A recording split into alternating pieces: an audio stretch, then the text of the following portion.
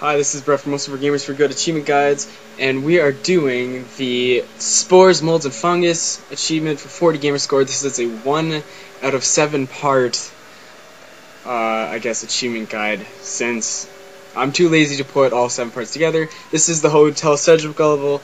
Just when you finish beating Slimer, pretty much, you get this artifact and you have to get it and you will get the achievement and you want to keep it for 20 gamer score so there you go. It's an achievement um, in, in two I guess. It's collect your first cursed artifact. Artifact number two is when you're by the when you're sorry going to the room with a bunch of ghosts and you do a little fight scene. On the counter there is a telephone right behind it. Oh it's not sorry not a telephone a bell. I'm retarded Artifact number three is when you're in the kitchen, and just after you fight all the, what is it, fish, go into where you the fish came from, and go at the very back, and there is a Stay Puft toy. That'd be cool to actually get.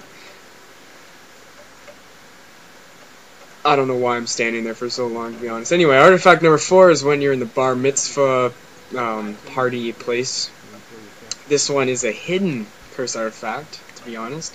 Uh, leave Slimer alone, let him do his own thing, let him chow down on that cake for a while, and pretty much shoot this wood column in the bar and make it big enough so your guy can actually get through.